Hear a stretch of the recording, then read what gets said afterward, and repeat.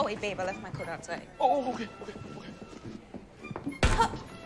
oh Fuck. Oh. shit.